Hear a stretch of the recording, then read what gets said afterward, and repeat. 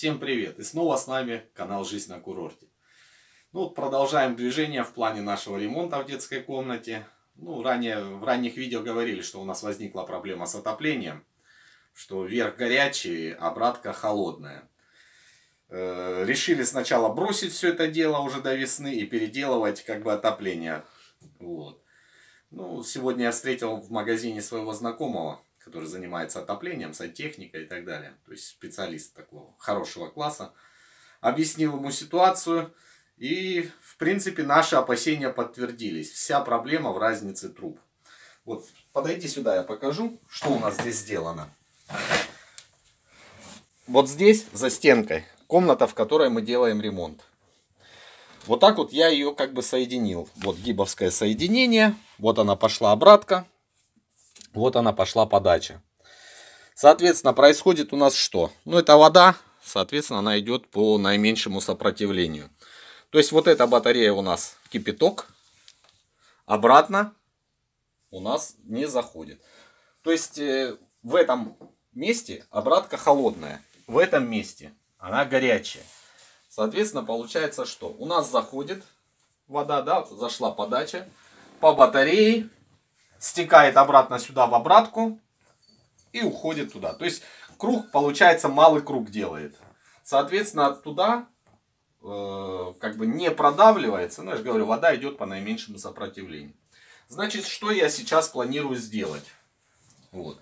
Планирую э, вот эту батарею обратку отключить и заглушить вообще, сделать ее однотрубкой, как проходную, как обычные теплые полы делают и так далее. То есть здесь подача, здесь выход и пошли на те батареи. Соответственно, надеемся, по крайней мере со слов вот этого специалиста, ну и как бы логически, если подумать, то те концевые радиаторы должны у нас греться. Потому что варианта другого нету. Если здесь обратка будет заглушена, соответственно, ей придется в любом случае в воде куда-то деваться. То есть, в любом случае, она пойдет вот здесь по обратке. По крайней мере, мы на это надеемся. По крайней мере, мы на это надеемся. И что у нас из этого выйдет, мы снимем продолжение видео. Ну вот, смотрите, значит, сделал я новое подключение. Вот здесь вот поставил вот такую заглушку. Здесь поставил заглушку. То есть обратку заглушил. Ввод сделал. Сюда заходит горячая вода. Вот он вот в радиатор. По радиатору стекает. И снизу выходит уже на, следующую на следующую комнату. Вот. Сюда поставил я кран Маевского, ну, чтобы стравливать воздух с этой батареей концевой. Ну, вот на данном этапе запустил отопление. Будем посмотреть, что у нас из этого вышло. Будем надеяться, что все получится. По крайней мере, вот эта батарея уже горячая. А низ батареи? И низ батареи, она полностью вся горячая. Отлично. Вот. С теми батареями будем смотреть. Они еще пока не прогрелись. Вроде бы как идет туда подача горячая. И обратка вроде бы не холодная. Ну, посмотрим, что у нас из этого выйдет. Добрый день.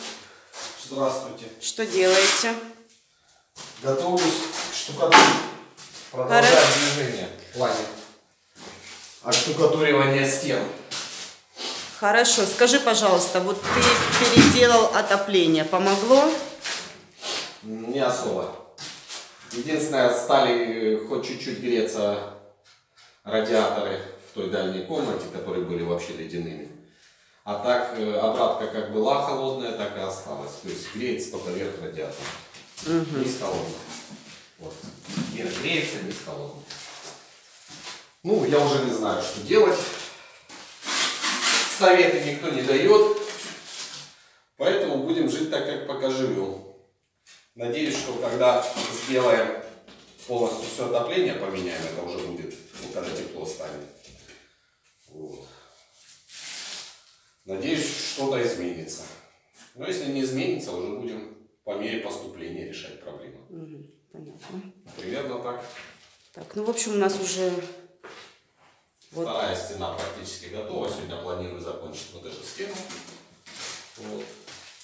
И получается вот как бы две стены, которые были сильно неровные, уже будут готовы. С этой стеной проблем больших не возникнет, потому что здесь слоя маленькие. То есть самый большой слой где-то пару сантиметров. Вот на какой Вот покажи? именно вот на на вот на. Да. То есть здесь маяки уже выставлены, все нормально. Вот. Как бы ее отштукатурили, я думаю, за один день.